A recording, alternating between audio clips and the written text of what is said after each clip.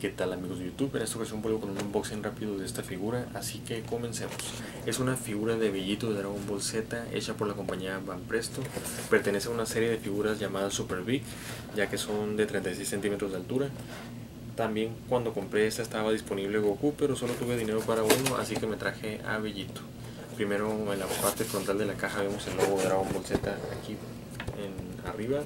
Vemos la imagen en sí de Bellito Vemos aquí la palabra Super Big y vemos que es de 36 centímetros de altura.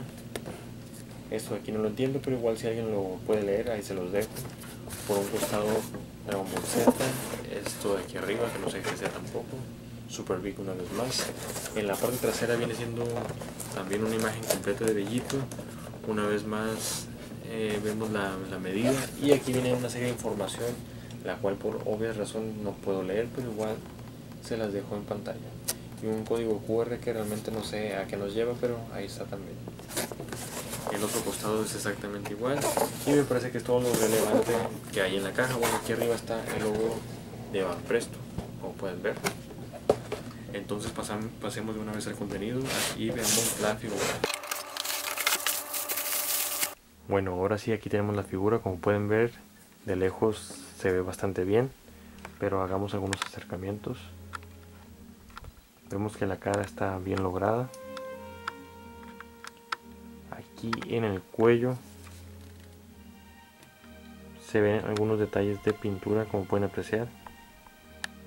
Pero realmente son mínimos y no se alcanzan a apreciar si lo ven desde lejos.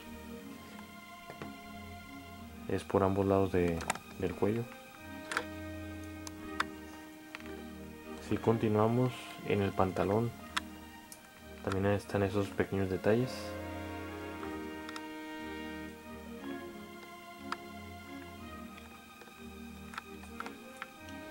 Y por último ahí tenemos sus zapatos.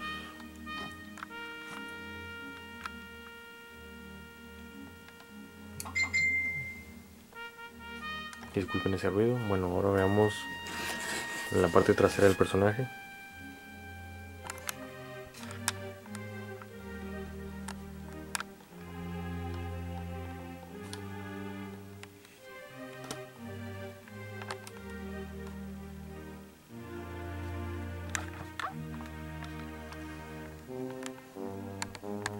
Y en sí esa vendría siendo la figura de Bellito.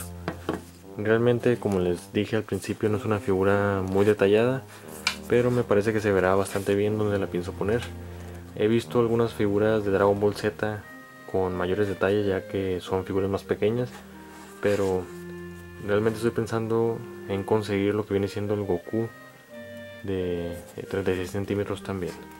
Y justo ahorita que le estoy dando la vuelta al personaje, aquí por un lado también estoy viendo un pequeño detalle. En lo que viene siendo la pintura color naranja, no sé si alcancen a apreciarlo.